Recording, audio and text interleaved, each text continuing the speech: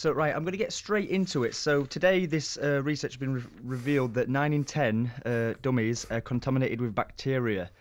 Firstly, can I ask you, uh, Dr. Ronald, can you tell us a bit more about the research which you carried out and uh, what you found when you looked more closely at the bacteria on dummies?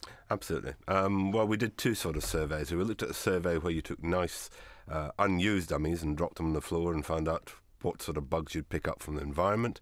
And then we looked at a whole selection of dummies which came from directly from babies. Now, the issue about the ones from babies and also the ones from the environment is we picked up about 10% which were grossly contaminated. Now, we're not interested uh, in sort of low numbers of bugs, um, a few hundred uh, on a particular specimen. What we're interested in is those ones that are really grossly contaminated, and uh, that's the ones we focused on. And in the gross contamination, um, we found uh, about 16% uh, were grossly contaminated uh, or heavily contaminated with skin or fecal bacteria. And this were the ones that the babies had been using. Right, and I understand uh, as part of the process, um, you had to incubate the dummies for five days in order to measure the bacterial load of each dummy contained.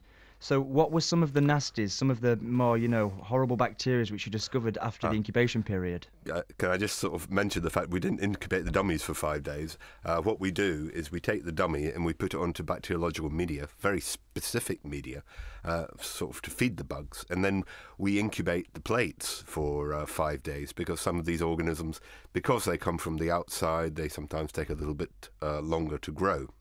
So what we actually found there is that in the 10% of organisms, especially the ones from the babies, um, the most common organism was a, a, thing called Enterococcus faecalis. So with the word faecalis, you can imagine where it comes from, and Emily comes from the uh, from the gut. So these were uh, heavily contaminated with these particular organisms. And uh, the worrying thing about these particular organisms are sometimes they cause infections, sometimes they don't, but they can also be multiply drug resistant which, as you know, is an issue in these days. Yes. And where where did you find were the worst places to drop a dummy in terms of what they would pick up? Um, well, funnily enough, uh, if you if you dropped it in the kitchen, uh, wasn't a good idea. I don't know why in this particular survey. Normally, we find uh, when we do surveys of looking for bugs in different environments, we find kitchens are pretty clean. For some reason or other, um, the kitchen seemed to be one of the worst places to drop these dummies, as well as, of course, uh, something like outside in, in a park isn't a good idea.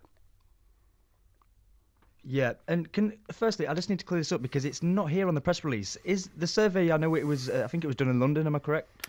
Uh, yeah, well, basically the dummies, and I think my colleague can tell you where they all came from. Uh, the dummies came from different parts of the country. Yeah, right. yeah, sorry, Tess. You, you go on. Tell us where whereabouts did you collect the dummies from in order to? Well, the, the dummies actually from a, from across the UK in a variety of locations and from a variety of healthy babies of different age ranges. So we really looked, you know, a sample um, that was as representative as we possibly could for the sample size. Right, and I understand, uh, Tess, that you are an expert in dummy sterilisation.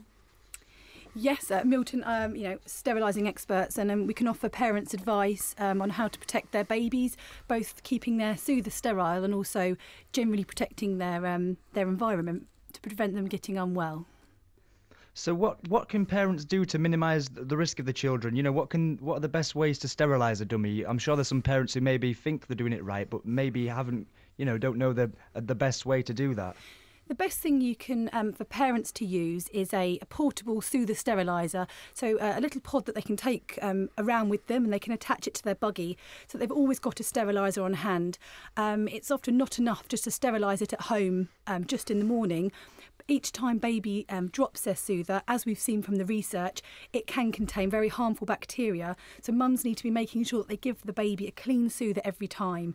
Um, and you know, here at Milton, we recommend sterilising baby soothers up to the first year of life, and especially around six months when baby's immunity is actually at its lowest. Um, so they can regularly wash their hands and keep that soother sterile. Right, brilliant. And where can people go for more information if if they're sort of unaware of you know where the more dangerous bacteria might be harbouring and where it's a definitely a definite requirement to sterilise your dummy once it's been dropped in a certain area. Where can parents go to get some more information on this story so they can help prevent this? Okay, parents can um, go to the uh, Milton Facebook page, and we've got a great team of experts that are, you know, ready and waiting to take questions for consumers.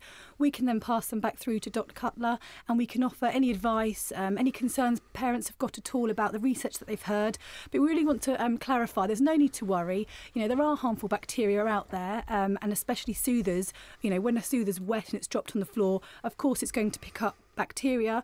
But you know, we're here to sort of say, hang on a minute you know, parents, as long as they're safely um, sterilising their soother, there's nothing to worry about. And it's really, really simple and um, effective to do. So please feel free to come visit our, our Facebook page and um, to learn more really about how you can protect your baby. Brilliant. And finally, you did mention about the uh, portable sterilisers. Where can parents pick those up from? Okay, so the Milton Mini Soother Steriliser can be bought from uh, supermarkets, baby shops, and pharmacies. Um, you know, in store and online, so it's widely available across the UK.